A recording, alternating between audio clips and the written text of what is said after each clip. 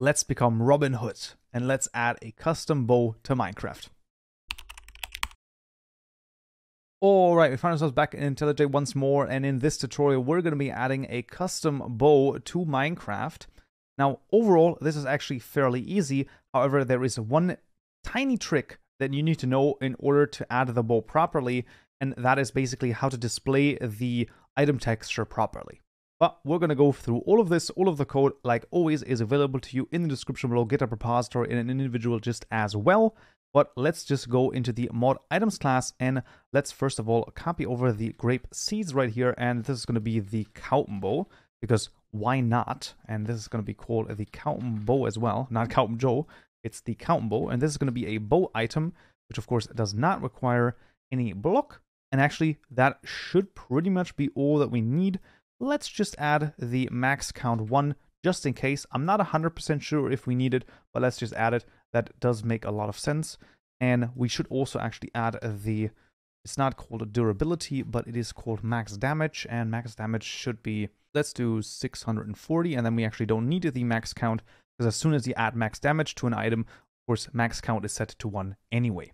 Right, and now the question is, this is actually all that we need in terms of the code for generating or rather registering the item, but how do we, well, get it to display properly? Because now we could add the JSON files and all of that, but there's a little trick, and that is going to be in the util package. We're going to right-click new Java class, and this is going to be called the mod model predicate provider. Now, this is a long name for something that's going to be kind of crazy, but we're going to just see. So where we want to go is we want to press the shift key twice and then we're going to type in fabric model predicate and that should already be enough for model predicate provider registry to come up. We're going to open this class and you can see that this is a it has a registry method which calls something in specifically, you know, this is all done with a mixin.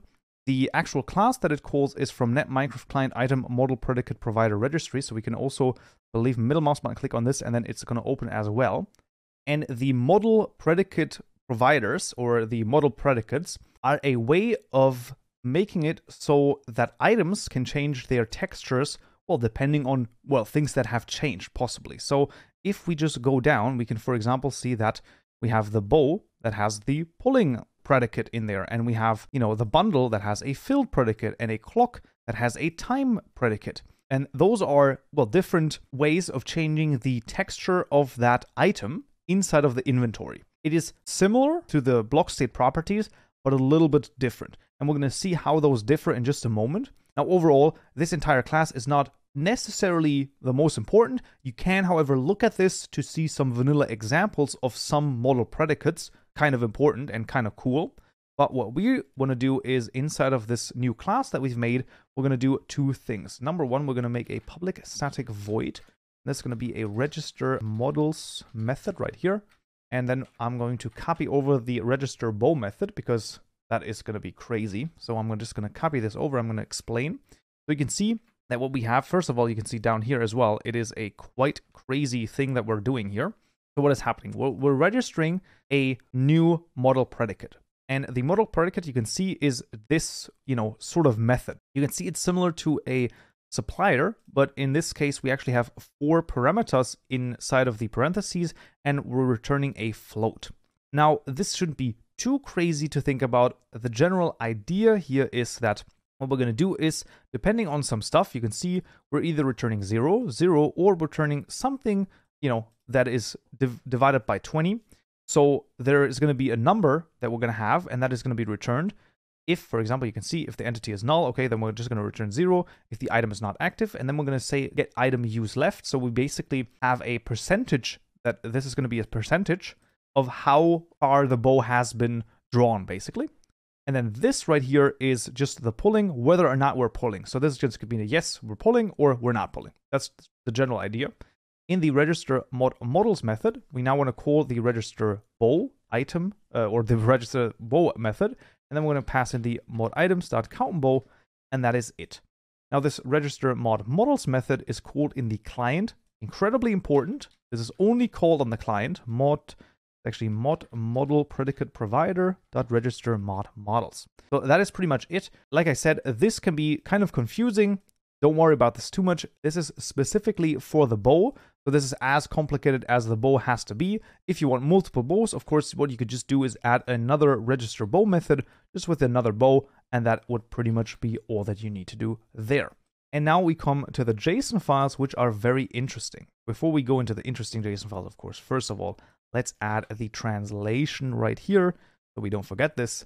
And then it is the item model JSON files. And I say files because there are multiple ones. Going to have four of those. One of them is the bow, and the others are, as you can see, pulling underscore zero, one, and 2. And this is how the bow looks like. So first of all, we have a certain display right here. This is just so that it displays properly inside of the player's hand in the world, right? So third person right, third person left hand, and so on and so forth. And then we point to a texture. So this is going to be the texture that it always points to.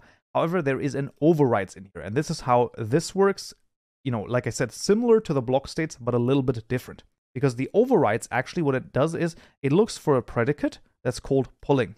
Now, when we go back to the mod model uh, predicate provider right here, we can see this is the pulling predicate. And it returns a 1, as you can see, when the item is currently active and it is being used by the entity, right? So this is the two things that have to be true. And of course, the entity doesn't have to be null. It should be fairly self-explanatory in that case. And then we're going to return a 1. So now we're starting to pull. This basically happens when we start right-clicking when we have the bow, right? So we're going to start drawing the bow. Then this is true. And then immediately when this becomes true, this predicate right here, so this pulling becomes 1, then we're going to do and say, hey, we're going to now overwrite this model, so this entire model file actually, with this model file right here. And that is going to be the Kaupen bow underscore pulling underscore zero. There you go. And that just points to a different texture once again. Now what's important here is that the parent is actually going to be this file right here. As you can see, tutorial mod item bow. That is one of the things that is very crazy and very strange, but it just has to be that case. You know, that's just something that you have to keep in mind. Once the predicate also has the pull right here, so if the bow is drawn to 65% of its, you know, entire draw, so to speak, then we're going to change the model to this. And then if it's 90% drawn, then we're going to change the model to this. That is pretty much all that there is to it. Once again, if you have some custom items that you want to, you know, have the texture change in certain ways, this can, of course, get very complicated very fast, but it is still a good introduction in this case. And the bow, and there's, of course, some more stuff shown you basically in the vanilla class. Highly recommend taking a look at this.